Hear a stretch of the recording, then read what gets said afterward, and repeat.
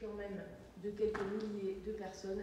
L'innovation au service de la solidarité. Trois dispositifs réunis en un seul lieu, c'est l'initiative proposée par le Conseil départemental des Landes en direction des jeunes autistes et de leurs familles lors de la présentation du budget 2018. Chacun sa vie, chacun sa réussite, c'est le nom du projet, comprendrait un hébergement à vocation inclusive pour 15 jeunes de 15 à 25 ans, une structure d'accueil et un espace répit ainsi qu'un espace ressources pour les aidants. Mieux accompagner vers l'âge adulte pour mieux insérer, c'est l'objectif de la démarche. Le, personnel en charge, euh, il est, pluriel. Vous avez euh, le volet médico-social, hein, c'est-à-dire euh, des éducateurs spécialisés. Vous avez le volet médical. Il peut y avoir l'appui de, médecins ou de, techniciens médicaux d'un centre hospitalier. puis il y a le volet universitaire. ce qui est important aussi, c'est qu'il y ait un volet de recherche. Et c'est là qu'on peut rejoindre le, le projet de village Alzheimer.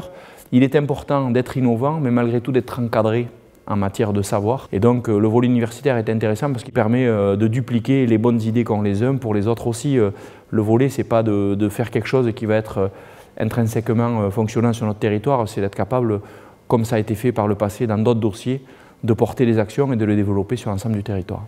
Une journée départementale de réflexion sera organisée le 23 avril à Mont-de-Marsan en collaboration avec l'association de recherche de Castillon.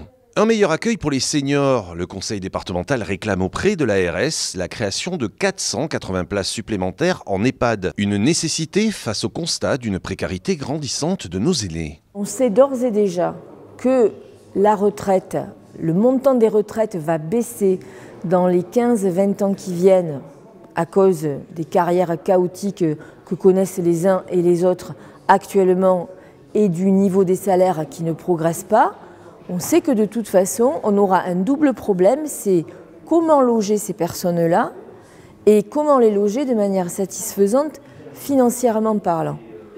Là, il n'y a pas 50 solutions, c'est la création de places dans des établissements publics, parce que ce sont des établissements qui peuvent être habilités à l'aide sociale. Et si on veut accueillir un maximum de personnes, euh, quelles que soient les conditions de ressources, il faut qu'on passe par euh, les établissements publics. Actuellement, 5000 places en EHPAD public sont proposées dans les Landes. Malgré un contexte de diminution sans précédent des crédits alloués au logement social dans la loi de finances 2018, le département des Landes poursuit son action en direction du logement social. Ah, ce qui se joue, c'est la construction de logements neufs, parce que euh, les fonds propres euh, des bailleurs sociaux euh, sont très mis à mal. Aujourd'hui, c'est une ponction de plus de 2 millions d'euros qui est effectuée suite à la loi de finances 2018 sur le bailleur social qui est XL Habitat. Donc nous allons continuer à essayer de, de, maintenir une programmation élevée, mais c'est vrai que ça, ça se tend énormément. 12 000, c'est à ce jour le nombre de logements sociaux départementaux